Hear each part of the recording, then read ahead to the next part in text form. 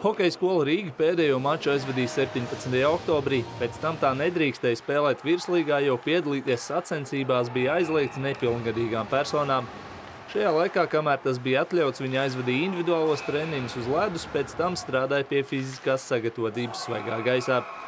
Šobrīd komandas kodolu veido spēlētāji, kuri nav sasnieguši 18 gadu vecumu, bet klubs tomēr spējas nokomplektēt pilngadīgu sportistu sastāvu, lai varētu atsākt spēlēt.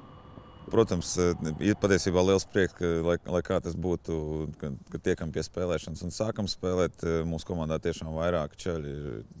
Daži ceļi bija šie pilngadīgie, un, un, un, un lielākais daudzums ir nepilngadīgie. Līdz ar to nācās prasīt palīdzību un, un, un, un savākt sastāvu nedaudz no malas vai tiem puišiem, kas vai nu nav kaut kādās komandās, vai arī, vai arī teiksim, tā ir virslīgas komandā, bet nu, uz, tāda, uz, uz tādas aizdošanas, uz aizdošanas principu. Un, Mogo mums ir palīdzējuši ar četriem spēlētājiem, un tad uh, esam, vien, esam no, no Baltiem vilkiem.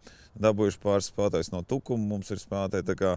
Es domāju, ka, es domāju, ka īstenībā tas sastāvs būs, būs uh, gan, gan kaujiniecisks. Un, uh, cerams, ka tie puiši, kas, kas saka, nevis cerams, bet es domāju, visi ir salgojušies pēc spēles. Zin, kā, mums pēdējā spēle bija 17. oktobrī. Mums šobrīd ir uh, virslīgā nospēlētas 9 spēles. Pārējiem ir sākot ar 15 līdz 19 spēlēm. Protams, loģiski ir tas, ka uh, neviens mūs netaisās gaidīt, kad uh, mainīsies noteikumi, mēs varēsim spēlēt, un tas čempionāts arī varētu līdz ar to ievilkties. Tāpēc pirmais solis bija savākt komandu, lai tagad mēs varētu aizvadīt spēles un e, cerībā, kad mainīsies noteikumi, jau ies, iesākt to mūsu vīziju, to gatavošanos pasaules čempionātam 18. HS Rīga ir Latvijas U18 izlases bāzes komanda. Izlasē aprīlī jāspēlē U18 pasaules čempionātā līdz divīzijā, bet no šīs komandas legāli spēlēt drīkst tikai viens spēlētājs, kurš nu pats svinēja 18. dzimšanas dienu. Pārējie izlases spēlētāji joprojām nedrīkst spēlēt, jo nepilngadīgiem ārkārtas situācijas laikā ir aizliegts piedalīties sacensībās. Mēs kopīgi ar veselības ministrs kolēģiem esam sagatavojuši grozījumu šajā ārkārtas situācijas rīkojumā saistībā ar sporta atsevišķiem jautājumiem. Un tas, ko mēs rosinām, ir attiecībā uz dalības attiecībās šo pilnvērtības kritēriju svītrot, bet kritērijas par profesionāliem sportistiem ar līgumiem paliktu spēkā. Līdz ar to dalība arī augstākā līmeņa sacensībās Latvijā, kas ir šīs augstākās komandas sporta līgas, ir Latvijā, būtu iespējama profesionāliem sportistiem neatkarīgi no vecuma, kuri sporto uz šī līguma pamata un par noliekto samaksu. Un, attiecīgi, arī šīs personas varētu arī, arī kopīgi trenēties. Līdz ar to Hokejas skolas Rīgas komanda šādu grozījumu gadījumā drīkstētu tās personas, neatkarīgi no vecuma, kurām ir šie līgumi ar komandu par attiecīgu atlīdzību. Tad viņi drīkstētu gan trenēties komandas sastāvā kopā, gan arī startēt Latvijas hokeja čempionātā augstākā līgā, kas ir šī virslīga. Mums ir šī hokeja skolas Rīga U18 izlases bāzes komanda, ja, kas principā ir Principā ir tādā, nu, arī tādā saudabīgā burbulī, ja mēs tomēr nākam, nākam principā, uz treniņiem, no treniņiem. Ja, tie lielie puikas viņi jau, viņi jau skolā neiet. Ja, tā kā ļoti gribētos cerēt, ka tas turpinājums mums Latvijā būs ļoti veiksmīgs, ka cilvēki mums būs mazāk tās inficēšanās un, un varēsim, varēsim atsākt, atsākt spēlēt. Cerēsim, ka nonāksim visi kopā pie kaut kādiem kopsaucējiem, kad pēc iespējas ātrāk mēs varēsim sākt gatavoties. Jo, jo teiksim tā, šī komanda būtībā tiek būvēta tikai vienīgi dēļ pasaules čempionāta U18, tāpēc jau šis ir bāzes klubs. Un, ja tā spēļu praksa nav, līdz tam pasaules čempionātam, nu, tad ir tā kā ir.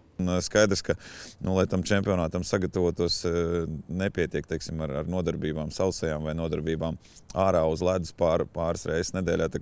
Ļoti, ļoti gribētos, lai, lai mēs, mums atļautu spēlēt, jo nu, puikas spēlē virslīgā, tātad profesionālā līmenī.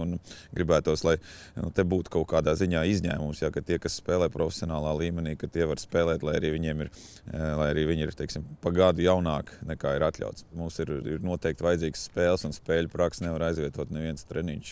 Tā domāšana, tā situācija maiņa, kas, kas ir spēlēs, tas to, to tu nevar panākt treniņā, jo īpaši, ja principā arī tas treniņš kā tāds ir, nu, tomēr ir jāievēro distance treniņā un tu nevar tādus riktīgus divcīņu vingrinājumus veidot. Tā kā, tā kā tas hokejā ir ļoti svarīgi, divcīņas ir svarīgas, protams, svarīgi ir arī veselība un, un, un to mēs brīnišķīgi saprotam. Bet, nu, Vienalga, lai kā tas būtu, mums daži puiši ir arī vairāk puiši patiesībā ir izslimojuši. Ja, tas viņu status tāds varētu būt kaut kādā ziņā apspriežams. Ja, un, un, un, protams, kā es vēlreiz teicu, ka mēs hokeja skolā Rīgā pat esam gatavi visus puišus ievietot ievietot internātā ja, un, un veidot tādu, tādu savdabīgu maisaimniecību. Ja. Kā, nu, redzēsim, kā veiksies. Man liekas, ka ir diezgan laba sapratne no, no Severkunga, no, no, no, no, saka, tā, nākot no augšas, no, no izglītības ministrijas. Ceru, ka tas atbalsts būs mums un es ceru, ka mēs varēsim atsākt spēlēt eh, tuvākajā laikā. Saistībā ar, ar uh, izlasēm, jauniešu un junioru izlasēm, uh, esam ņemot vērā, ka ir diskusija un visdrīzāk tiks pagarināts aizliegums iekštelpu sporta nodarbībām, joprojām vismaz līdz 25. janvārim. Tad vienlaikus mēs esam runājuši, un varētu būt risinājums, kad tās jauniešu un junioru izlases, kuras pārstāv Latviju, protams, Latvijas jauniešu un junioru izlases, viņas drīkstētu kopīgi trenēties oficiālos izlases treniņos, kurus vada attiecīgās izlases treneri, kas nozīmē, piemēram, U18 izlasēji.